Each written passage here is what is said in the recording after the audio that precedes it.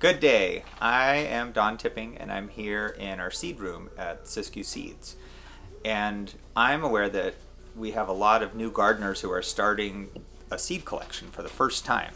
And many experienced gardeners may already have seeds from the last few years of gardening.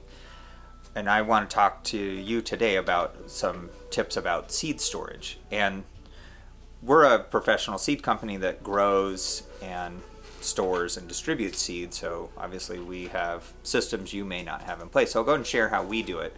But the key things you want for seed is cool, dark, dry. And they're basically the opposite of what you want for growing seeds, which would be warm, moist, and light.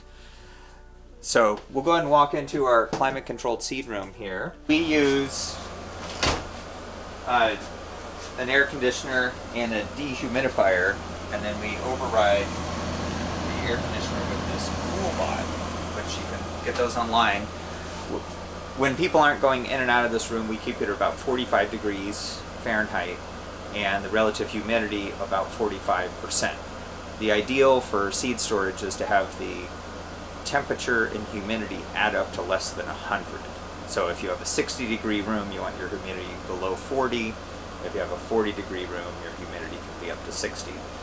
So that's how we do this. We also use uh, silica gel packs in every container. Um, this type of storage condition allows the seed, some things like tomatoes will remain viable for up to 10 years. Same with large seeds like corn and beans. Pretty much the smaller the seed, the it doesn't live as long. The larger the seed, it lasts longer.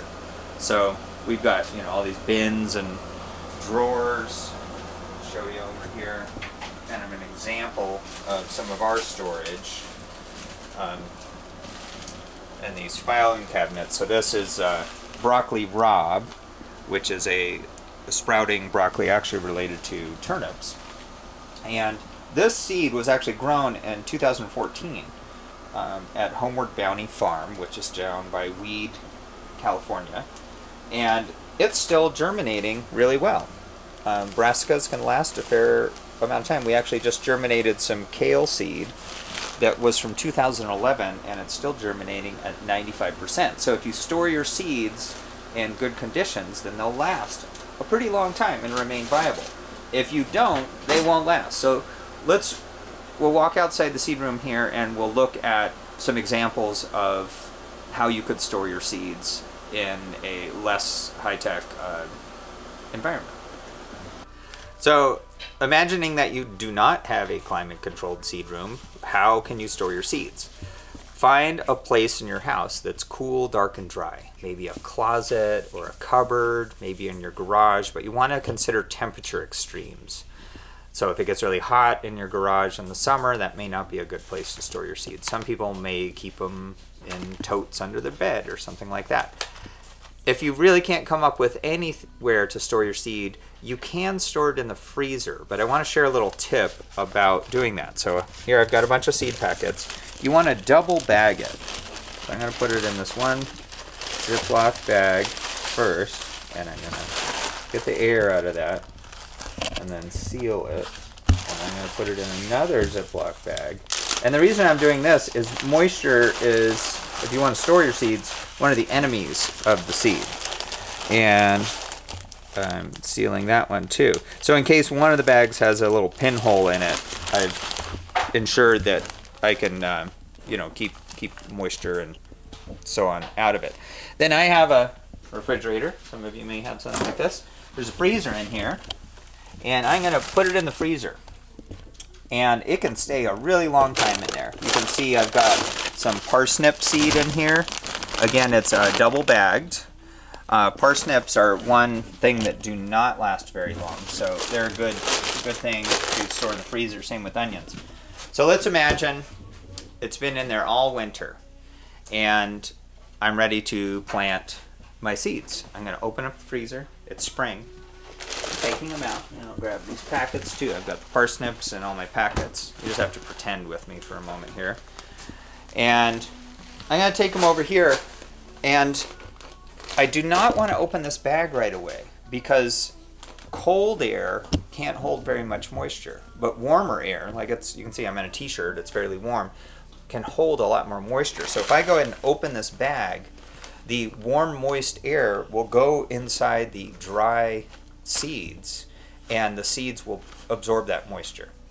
So I'm going to let this just hang out for a while and get to room temperature before I open it. So this is a really important consideration if you want to store seeds in the freezer, which is a great long-term option. But again, double bag it and allow it to warm up to room temperature before you open the bag so that the you know the temperature of the seeds has harmonized with the inside.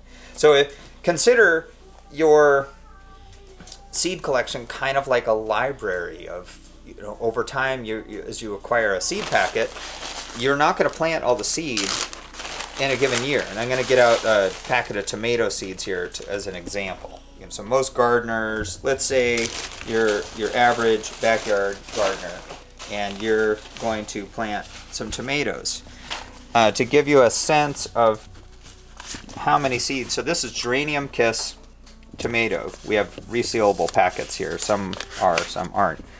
And you can see I've got about 50 seeds there of just this one variety.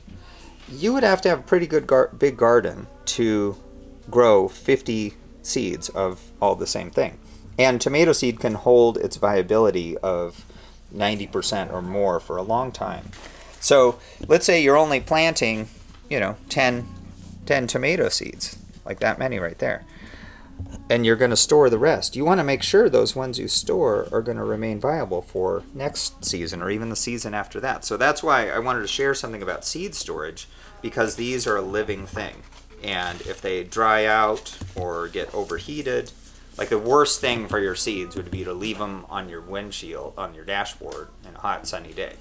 So have a good stash and think of it like your record collection or a, a book, a library, and something that over time you want to build up and um, and store. My one of my personal records of longevity for seed that really surprised me is I had some marigold seed that was 17 years old, and it managed to sprout. It took a long time, but it did sprout.